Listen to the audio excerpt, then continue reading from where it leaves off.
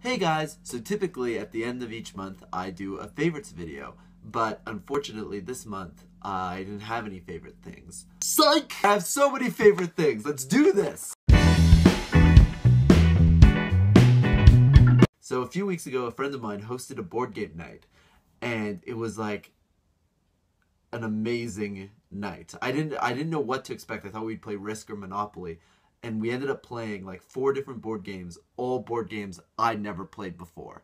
And they were really good. One was Pandemic, another game called Sushi Go that was really fun. We played something called Love Letter, and then we also played this really great sort of social lying game called Werewolf, and it's all about like deducing who's a werewolf in like your group and like lynching them, and if you're the werewolf, trying to get the rest of the town to lynch someone else. I know it sounds barbaric, it's amazing.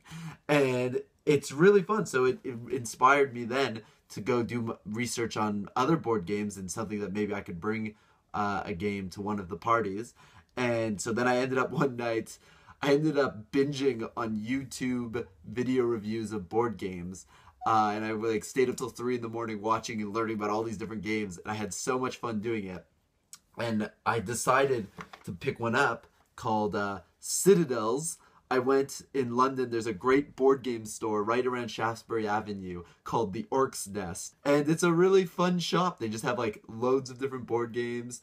Um, you know, a lot of Warhammer and Dungeons and Dragons stuff. It's really geeky, but uh, no, it's really fun and really cool. And I picked up this one. It's a classic one called Citadels, and this well, I picked this one up because it can play up to eight players, but some even argue that its two player uh, mode is amazing as well. So I figured I'd get one because I live with one other person, and so I'd have this game to play with my flatmate, and then also potentially bring to the party. I haven't bring it brought it to the party yet, but I did play it with my flatmate, and it was really really fun. My flatmate was super smart about the ambiance too. We lit candles, we put on medieval loop music, and it really just fit with the whole theme of the game. So yeah, Citadels. I guess I guess I should tell you a little bit about what it's about. Basically, it's like I describe it as like Monopoly meets Magic the Gathering, and basically you're trying to build you're trying to build the best citadel ever. So you have to build different things. You can build like a castle with this card,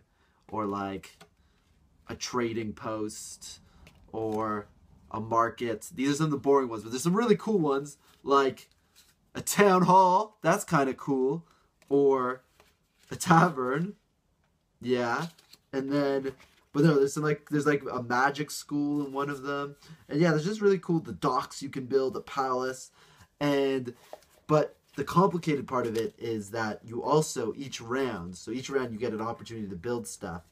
But, um, each round, you also have to pick who you want to play as. You can play as the bishop or the architect or uh, the king. And then there's one character called the assassin, and then that guy can actually kill another player, and it gets really tactical and it's really fun. And I, it sounds kind of complicated, but it's one. It's a game you can pick up really quickly. And so yeah, so one of my favorites this month is just board games in general, and then more specifically, if you're looking for a good one, Citadels is good as well. And then just to mention another one I just picked up the other day, which I played at my friend James's house, and that is Love Letter. It's originally a game that was invented in Japan, where it's supposedly become a massive sensation. Uh, this is the Batman themed edition they had at work, so I figured I'd pick it up for 50% off. And it's really fun too, and it's really quick and fast and even more casual than uh, Citadel. So that's another great one. So yeah, go board games. Next thing I'd like to recommend is a really great TV show. I've almost finished it. There's only one season. It came out, I think, in December. It's called uh, London Spy, and it stars Ben Whishaw.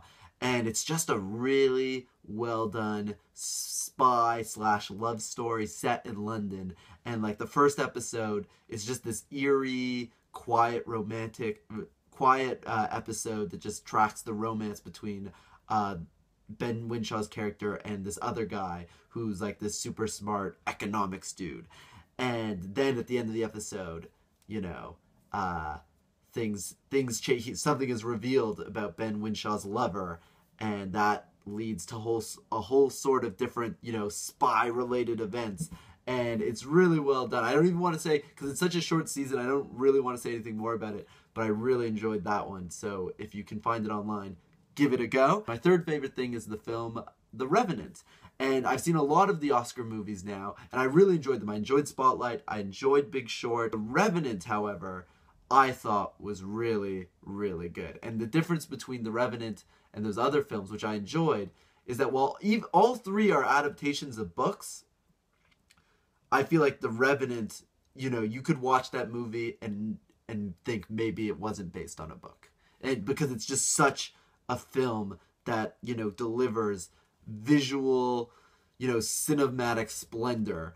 And which is a weird word to use because it's not a wondrous movie, it's a dark, eerie, bleak film. But the camera work and the direction, it's the same guy who did Birdman. It has this fluidity that you're like sort of trapped in scenes that are both majestic and dark and violent and horrible and it oh it, it was so good. And so i would say it's my choice to win the best picture though i do think it's a film with flaws. I honestly believe it could have been 45 minutes shorter. Uh, there's these arty farty bits throughout the whole thing where he's like having these hallucinations. And honestly they could have been cut and the movie would have been fine. Um, but even with them the scenes that were really good were so good that they carried those sort of lackluster scenes with them.